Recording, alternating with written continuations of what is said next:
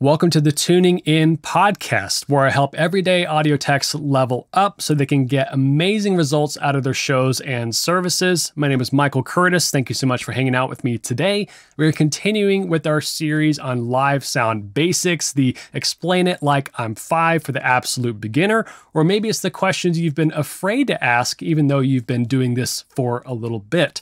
Today, we are covering what in the world is the gain knob for on a live audio console. So let's jump right in.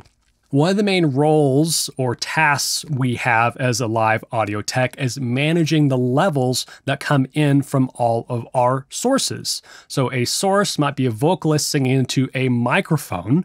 A microphone is a transducer, a fancy term for saying it is able to transform one form of energy into another. So specifically, this is taking a acoustical sound wave. So my voice right now, my vocal cords are moving and pushing air around, and that creates a vibration, and that is vibration moving through the air. And the microphone that's recording me right now is also gets vibrated by that sound, but it is able to translate or transduce that into electrons. So we are transforming sound waves, movements, and air pressure into movements in electrons, or voltage is another way to say it. So these variations in pressure then have a semi linear transformation into electrons that move down a cable into an audio mixer. So that's what we're actually operating during the gig or the service is the mixer. So if I have a very loud vocalist on a microphone, and then I get that same microphone over to another vocalist and it's coming into another input or channel on my desk. So I have two different uh, ways I can control vocalist A versus vocalist B. They may be different in level. And that's okay. That's that's fine. And it's not a problem for us because one might be holding the microphone a little bit further away, it might be holding it closer. But our goal at the mixing console is to get them on a somewhat level playing field. And there's actually a Goldilocks zone to get there. Welcome to the Tuning In podcast, where I help everyday audio techs level up so they can get scary good sound out of their shows and services. My name is Michael Curtis. Thank you so much for hanging out with me today. We're continuing in our series in live sound basics, the explain it like I'm five core stuff you gotta know. Maybe, or maybe if you're not a beginner, it's the questions you've been afraid to ask. Maybe there's some cracks in the foundation that we need to fill in. At any rate, you're welcome. Thank you so much for hanging out with me today. And we're going to be continuing with the question what in the world is the gain knob for on my audio console? And maybe asking the question, how do I use the gain knob versus the fader? Or maybe I use gain and you have no idea what that is. We're going to be starting from ground zero and putting it in context of a live sound situation, making sure you under this, understand this tool clearly and know what to do with it. All right. One of our key roles and expectations as an audio tech and responsible for the sound at an event is managing the levels. So we usually think of that as like, well, how loud was it in the room? We actually need to back all the way up to the beginning of what's called the signal chain. So a chain, a chain of links, signal moving through it from top to bottom. So at the very beginning is we have some sort of source. This could be a person singing, a drummer on a drum kit. This could be an iPhone plugged in for walking music. Any of those are fair game and provide something that's called a signal. A signal is a very blanket term for describing audio of some sort audio is cool in that it can exist or be measured in multiple domains you actually hear my voice right now through air. It's sound waves are either traveling from, you know, your MacBook speakers or the earbuds you have in right now. Uh, but what's happening first is I'm actually speaking and it's going into a microphone that you can't see, but it's the same thing that's happening on stage. Let's say you have a solo vocalist who's singing to a track. So this vocalist singing, her voice, her vocal cords are moving air, and th- those sound waves then move air, uh, variations in air pressure, but then a microphone, uh, its specific job is to capture this sound. So, how does it capture it? It uses something called a transducer. Well, I guess it is a transducer. But there's several components in a microphone that make up the complete circuit and the way that it's doing it. I'm not going to worry about that today. I'll have a later episode on microphones specifically. But what it does is it transforms or transduces these airwaves into electrons. And we measure that with voltage. So we have variations in air pressure, and air pressure has positive, it has a compression and a rarefaction, it moves out. These are fancy terms, don't worry. We'll cover that in a later episode. But that is basically transduced and then just vi uh, vi not visualized, but actually represented in a different way with electrons moving down a wire. And we measure that in voltage. So too much voltage is too strong of a signal, very weak voltage is very weak. So if I'm going to talk very softly versus talking very loud, we have a small air pressure, big air pressure, and similarly a small voltage and or a big voltage. So depending on the actual source, how loud I'm speaking, or how quiet I'm speaking, or how loud the drummer's playing their snare drum or not, is going to determine how loud or soft or strong or weak, more accurately, the signal is that goes into the microphone, and then thus how strong or weak the signal strength, the voltage that's moving down the cable into the mixer. So let's say you are doing a sound check.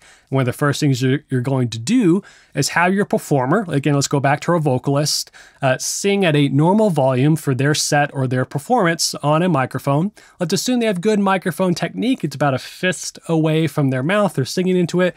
Everything's working correctly and we have that signal that's now coming into our audio console.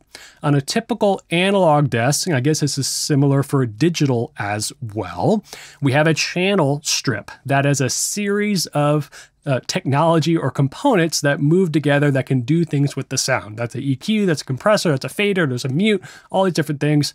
All I want us to worry about right now is what's at the very top at the very beginning, and that is the gain knob, which is attached to a preamp and then that flows down to a fader. Okay, so let's start first with the gain knob, the point of our episode today.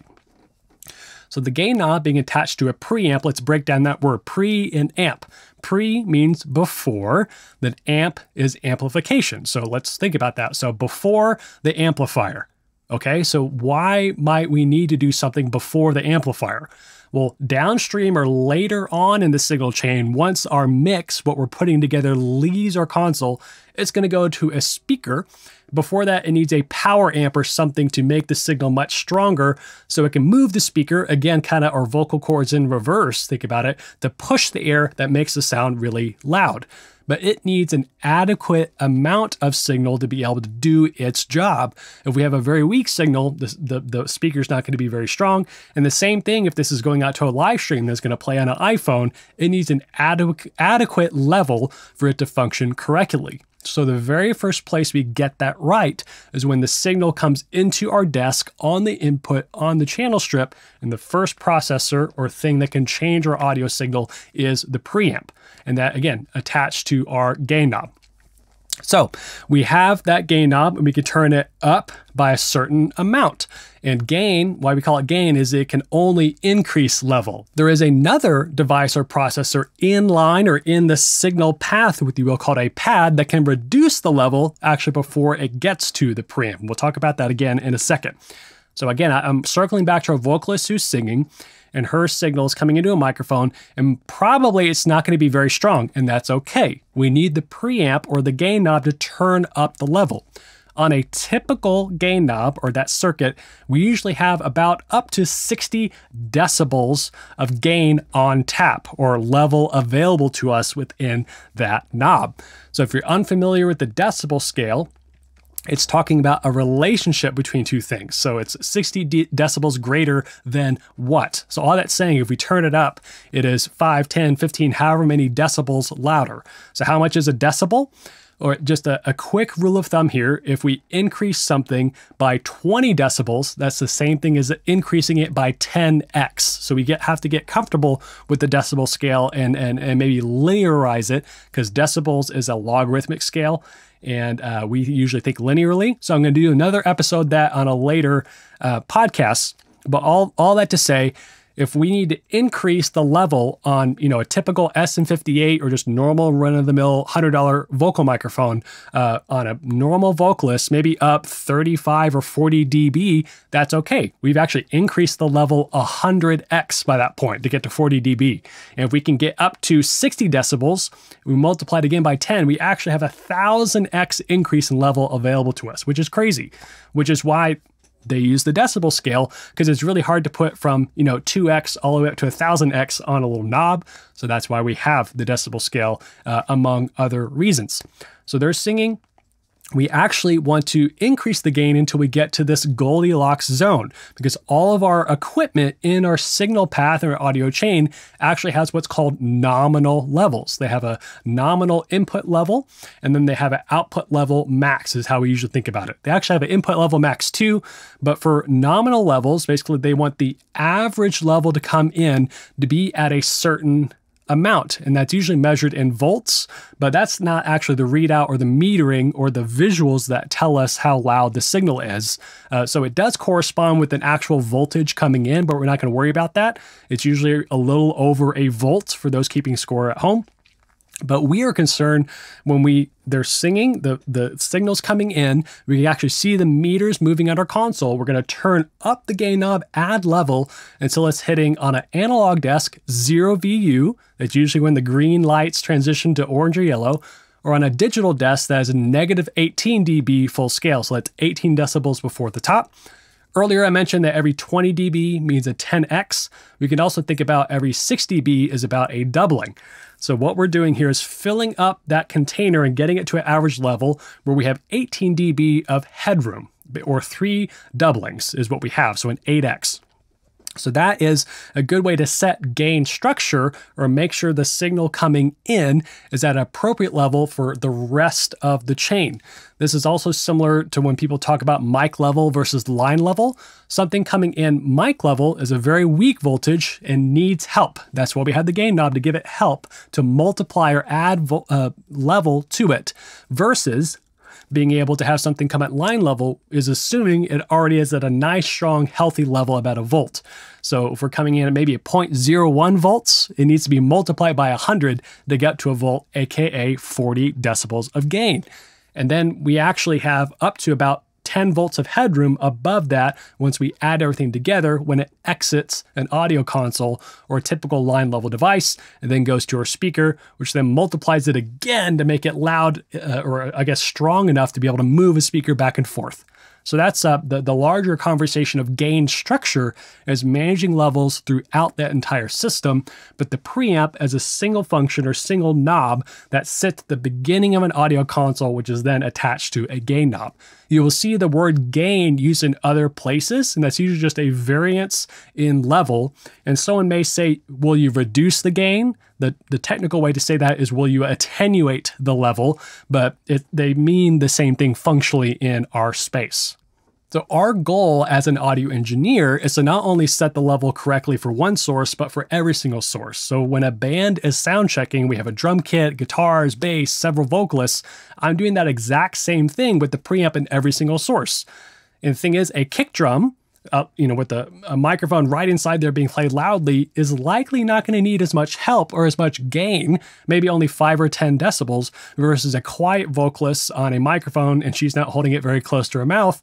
I might need 45 dB. That is a huge discrepancy in what our preamp is doing, but there's nothing wrong with that as long as you are not getting feedback or there's too much noise that's coming up. And we'll talk about in our later episodes our signal to noise ratio. But all that being said, gain knobs may end up at several different values and anywhere in between depending on the source. But good practice is to make sure we're getting an adequate level out of the source first try we before we do all the heavy lifting with the preamp at the desk. All right, a recap. One of our main jobs is to manage the signal levels and how they are routed throughout our system. And there is a standardized Goldilocks zone once the signals have been captured or transduced by a microphone um, and are now electrical signals. And we use a preamp to usually increase the level of those signals to get there.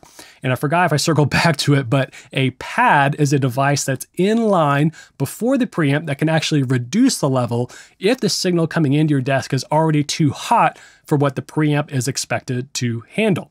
So the preamp is controlled by the gain knob and has a voltage multiplier that increases the input level of that source plugged into that channel. Again, if it's too hot, we need a pad. If it's too low, we increase to get it to a level on our meters that is at uh, zero VU on an analog desk or negative 18 dB full scale on a digital desk. And That's basically where the green lights transition to orange uh, or yellow on most desks. Thank you so much for hanging out with me today. My name is Michael Curtis, where I help everyday audio techs get amazing results out of their sound systems and services and shows. I'll catch you next time.